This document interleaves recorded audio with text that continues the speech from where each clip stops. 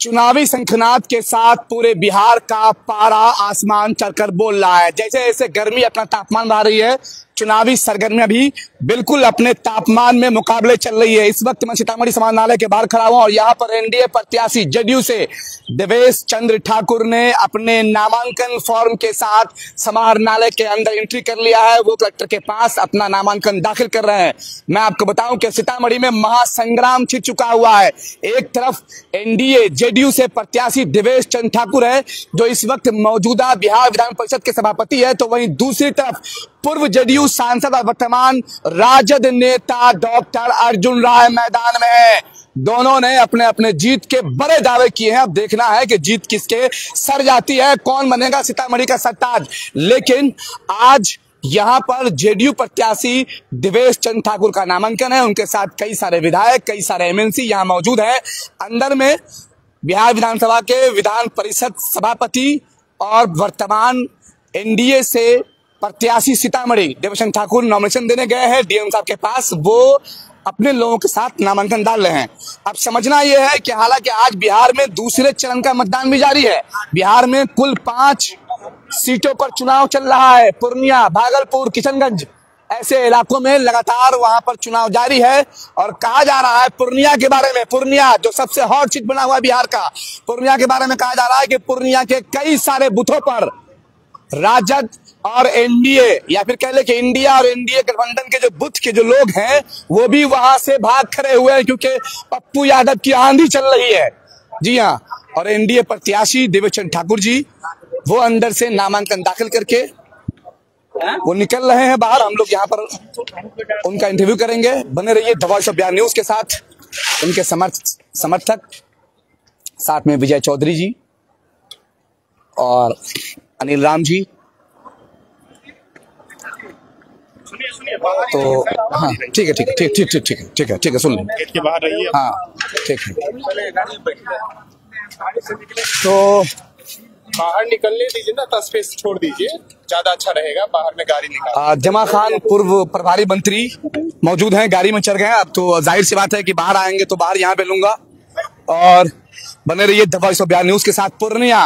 पूर्णिया के बारे में खबर आ रही है कि वहाँ पर एनडीए और इंडिया दोनों गठबंधन के बहुत सारे पोलिंग एजेंट भी कह सकते हैं कि जो लोग पोल करा रहे हैं, जो जो लोग उनके मतदान कर्मी है, वो वहाँ से निकल चुके हुए इतनी आंधी चल रही है।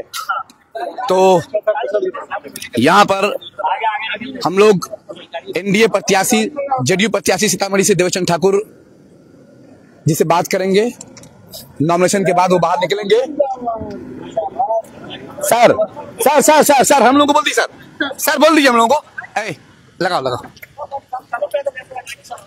तो मैं समझता हूँ कि उनको बोलना चाहिए। यहाँ पर हालाँकि बोला क्यों नहीं गया ये पता नहीं है। हमेशा ऐसा रहा है कि जब भी कोई प्रत्याशी यहाँ से नॉमिनेशन देकर बाहर निकलते हैं तो सामने मीडिया को बाइट देते हैं लेकिन विजय चौधरी के साथ वो थे और निकल गए सभा स्थल की तरफ़। यहाँ पर जो प्रशासनिक दृष्टि है या फिर कह लें कि आप देख सकते हैं कि चारों तरफ़ जो बैरिकेटिंग लगाई गई है। चप्पे चप्पे पर बैरिकेटिंग लगा दी गई है। तमाम दुकानें यहाँ पर बंद है और 144 को फॉलो किया जा रहा है और यहाँ पर पूरी तरीके से प्रशासन मौजूद है और उन्होंने कुछ बोलने से परहेज किया है।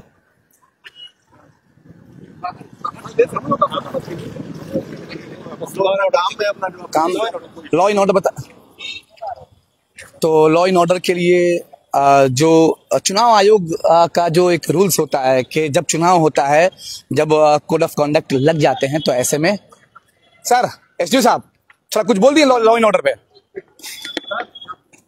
एस साहब sir sir law and order पे कुछ बोल दिए सर नहीं नहीं हम लोग कौन कौन बोले?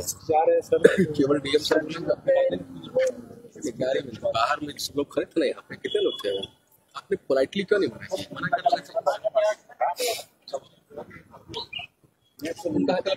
तो यहाँ है। हाँ चलो चलो। तो हम चलते हैं अपनी गाड़ी की तरफ़ उस तरफ़ जहाँ हमारी गाड़ी लगी हुई है। और कलेक्ट्रिएट से देवेश चंद ठाकुर और उनके साथ जेडीयू के कद्दावर नंबर दो तीन की हैसियत रखने वाले विजय चौधरी साथ में है। धूप बहुत ज़्यादा है। तो और टाइम भी हो चुका है। गाड़ी की तरफ़ जाएँगे। आज फ्राइडे है। जुमा हमारे साथ। दिल साहब, आगे जाओ।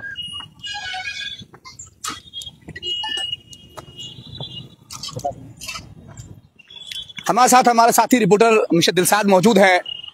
आज बिहार में पाँच जगहों पर, कुल 88 सीटों में से पाँच जगहों पर बिहार में चुनाव है। किशनगंज, भागलपुर, अररिया और पूर्णिया पूर्णिया जो बिहार का सबसे बांका भागलपुर। तो पूर्णिया जो है वो सबसे हॉट सीट बना हुआ है। पूर्णिया के बारे में खबरें ये आ रही है पप्पू यादव की दीवानगी आज इस तरह सर चल के बोल रही है कि बहुत सारे बुथ से जो पोलिंग एजेंट होते हैं वो इंडिया गठबंधन के और एनडीए गठबंधन के वो वहाँ से निकल गए वो वहाँ मौजूद नहीं है।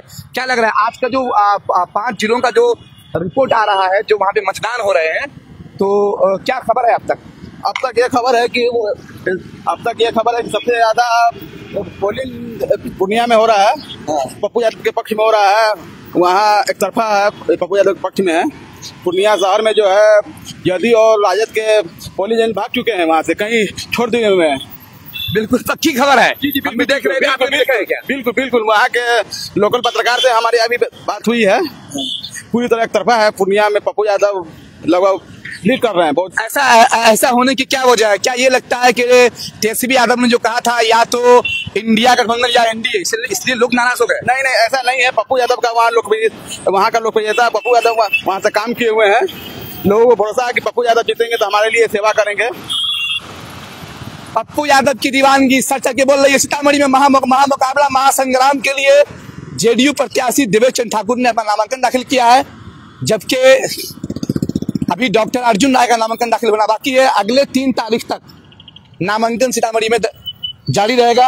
हम चलते हैं अपनी गाड़ी की तरफ़ चूँकि फ्राइडे है और अभी जो हम लोगों का फ्राइडे प्रे होता है, उसके बाद फिर हम चुनावी कार्यक्रम में भाग लेंगे।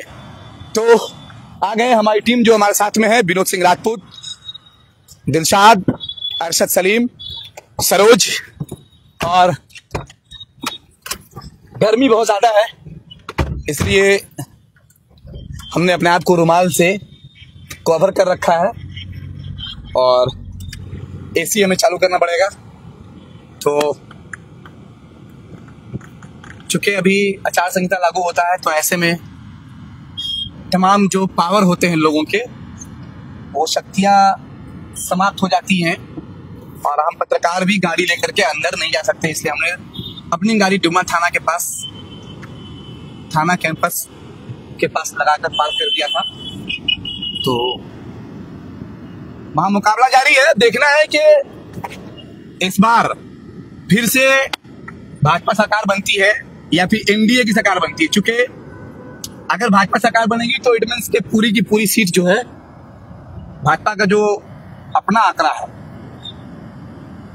तो वो पास पार कर ले या फिर एनडीए पूरी जो एनडीए गठबंधन है उसकी मदद से भाजपा सरकार में जाएगी।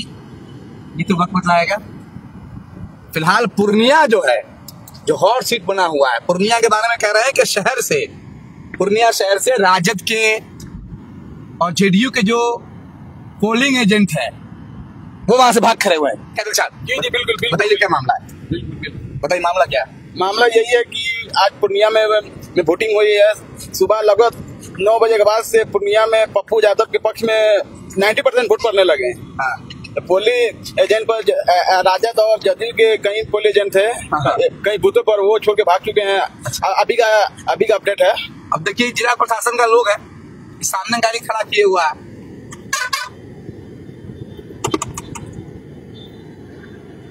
इनको लग रहा है कि ज़्यादा काबिल है।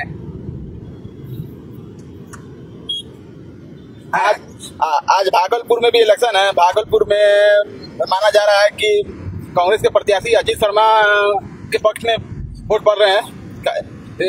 क्योंकि उनकी क्योंकि वहाँ से जो पूर्व जो पहले जो सांसद मैं आपको बताऊँ कि देखिए पत्रकारिता धर्म पक्षपात का नहीं होता है। पिछले बार एनडीए गठबंधन ने जब नीतीश कुमार शामिल थे भाजपा में उन्होंने सारे सीट को जीत लिया था। ए टू जेड सारे सीट जीत लिए थे, बस सिर्फ़ एक किशनगंज जो है, वो रह गया था जो कांग्रेस ने निकाला था। बाकी चालीस में से उनचालीस सीट जो है, वो एनडीए गठबंधन ने जीता था। अब की बार क्या हुआ है कि थोड़ा उसमें कुछ कमी आनी है। एनडीए का सीट कुछ गिरना है और पूर्णिया कंफर्म नज़र आ रहा है हम लोगों को। शिवहर में महामुकाबला है, पलड़ा अगर कहे तो हम नीतू जायसवाल के भारी पड़ रहे हैं। सीतामढ़ी के बारे में कुछ नहीं कहा जा सकता है। और जबकि 2014 में आज बिहार में जितने पाँच सीटों पे चुनाव हो रहा है 2014 में ये पाँचों सीटें जब मोदी लहर थी बहुत मज़बूत मोदी लहर थी तब ये पाँचों सीटें इंडिया गठबंधन ने महागठबंधन ने जीता था। है ना? एक सीट किशनगंज छोड़ के। किशनगंज छोड़ करके किशनगंज अरे किशनगंज भी तो कांग्रेस जीत गई हाँ, थी। तो कांग्रेस जीत गई। कांग्रेस जीत गई थी। तो तब दो हज़ार चौदह में नीतीश कुमार अलग लड़े थे। आरजेडी अलग लड़ी थी और ये जेडीयू अलग लड़ी थी। तो मोदी प्रचंड बहुमत से निकले थे फ़र्स्ट टाइम उस उस समय भी जो है यहाँ पे ज़्यादा मजबूती से काम चल रहा था। तो अब चूँकि चूँकि हम लोगों का आज जुमा पढ़ने जाना है तो हम जुमा पढ़ने जा रहे हैं। इधर ही डुमरा में एक मस्जिद है बीआरसी भवन के पीछे। और फिर उसके बाद फिर जस्ट हम लोग लौटेंगे वहाँ से। कहीं दिग्गज नेता कहीं और दिग्गज एनडीए के कई दिग्गज नेता आने वाले हैं आज देवेश ठाकुर के नामांकन सभा में अभी से कुछ देर पहले बिहार भाजपा के अध्यक्ष और और बिहार के उप मुख्यमंत्री समाज चौधरी भी आए थे। वो अभी सभा को संबोधित करके अभी चले गए वो हेलीकॉप्टर से। अच्छा, समाज चौधरी पहुँच गए जी जी जी बिल्कुल। और खबर ये खबर ये आ रही है कि, कि चिराग पासवान भी आने वाले हैं कुछ ही देर में। अच्छा अच्छा। तो इस शायद इसीलिए देवेश ठाकुर जल्दी निकल गए। अच्छा। तो अब अगला नामांकन जो होगा वो डॉक्टर अर्जुन राय का होगा। इस तारीख को है। तीस तारीख को है। तो डॉक्टर अर्जुन राय भी बहुत मज़बूत कद्दावर नेता है बहुत लोकप्रिय नेता है। और अब देखना यह कि दो बड़े दिग्गज नेता सीतामढ़ी में फिर रहे हैं आमने सामने। एक जो जेडीयू से पूर्व में एमपी रहे हैं दूसरे जो